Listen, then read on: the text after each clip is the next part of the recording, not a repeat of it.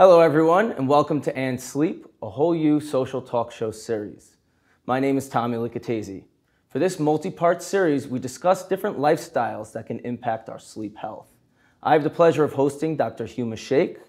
Today, we're talking about stroke and sleep. Welcome, Dr. Sheikh. Thank you. Thank you for having me. So, for this episode, we're going to be discussing stroke and sleep. So, what exactly is a stroke? Sure. So, a stroke is essentially when a part of the brain is not receiving enough blood and therefore is not receiving oxygen to function.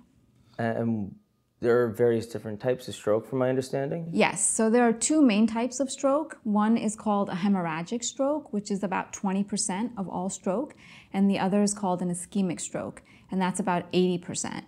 And the main difference between the two is that in a hemorrhagic stroke, a blood vessel essentially tears or pops and there's bleeding in and around the brain. And in ischemic stroke, there's a clot that develops inside the blood vessel, so it blocks off more blood and therefore oxygen from getting to different parts of the brain. What would be the early signs that you would look for in your patients to identify this? So it's really important that patients who are having a stroke are able to get help and identify it very early on because the earlier you identify the stroke, the more likelihood is that we can do something to help reverse the stroke itself um, and not leave lasting or permanent effects from it. Um, what we tell patients is the some of the earliest signs to look for is a mnemonic called FAST, and that is your face that may look droopy on one side, or the person might feel like their words are slurring. Um, the other one is sensory symptoms, so one side of your body may feel numb or tingly. Um, and then weakness. So, weakness in your face, in your arm, or your leg. Or the other one is a very severe headache. Um, especially with hemorrhagic stroke, you can develop what we call the worst headache of your life. Um, so, the most important thing with all of these is time, calling 911 and getting help as soon as possible. How does sleep relate to stroke? What are the what can occur during our sleep that can increase that likeliness of having a stroke? So we know that there are certain risk factors that increase your likelihood of a stroke. Um, high blood pressure, smoking are two big ones, but also conditions like obstructive sleep apnea um, and central sleep apnea can also increase your risk of a stroke. How does that happen? So, in sleep apnea, there are periods during the night where you are essentially not breathing. And this can last for seconds, but it can occur multiple times during the night. So, during that time when you're not breathing, your brain is not getting oxygen. Um, also, obstructive sleep apnea and central sleep apnea over time can increase your risk of things like hypertension, um, cardiovascular disease, and all these things can also be a risk factor for stroke. So sleep apnea, unfortunately, is very underdiagnosed. Um, I think there's a statistic that about 80 to 90% of people who have sleep apnea don't know it. So the first most important thing is identifying these patients that have this risk factor for stroke.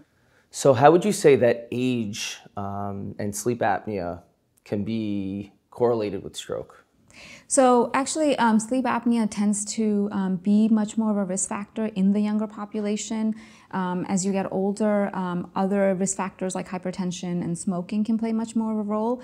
Uh, but because sleep apnea is so much more less diagnosed in the younger population, um, it is much more of a risk factor. So it's important to identify and then treat sleep apnea, especially in a younger population, and by that we mean under 50. Actually, men are who have moderate to severe sleep apnea are three times more at risk of developing a stroke than men who do not have sleep apnea. Wow, scary statistic. Yeah, so it's really important to identify and treat sleep apnea. Okay, and what, what are those treatments that, that you're speaking of? So CPAP, which is um, a machine that helps to force oxygen in to your upper airway, is the gold standard.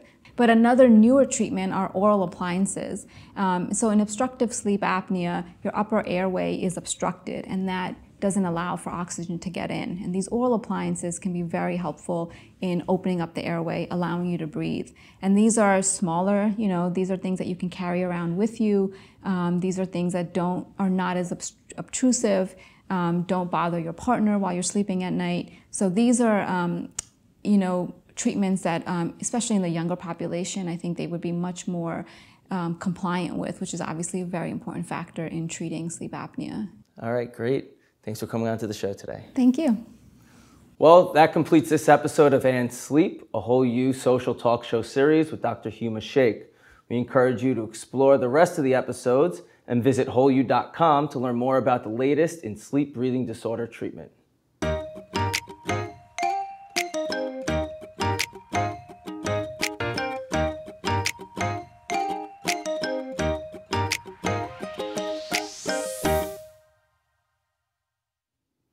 The sleep professionals in this video series teamed up with Whole You to spread healthy sleep education across America and were paid for their appearances.